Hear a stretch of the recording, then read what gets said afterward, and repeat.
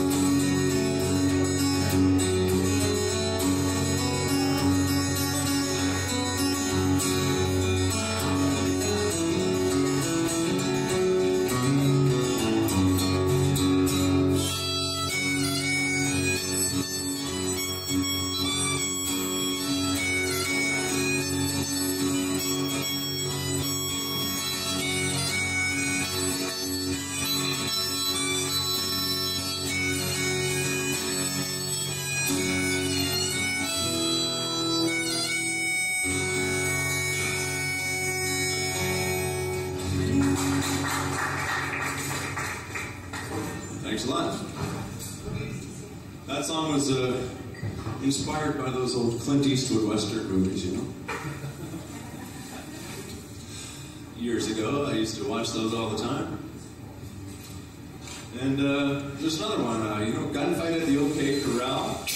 Kirk Douglas.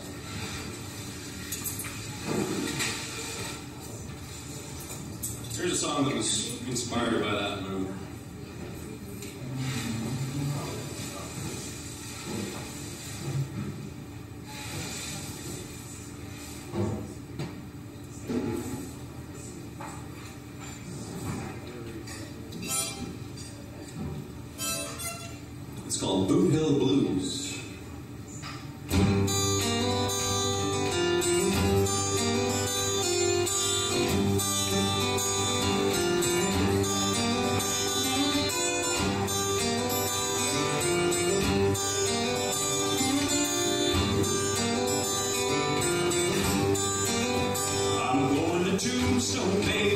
so here I've got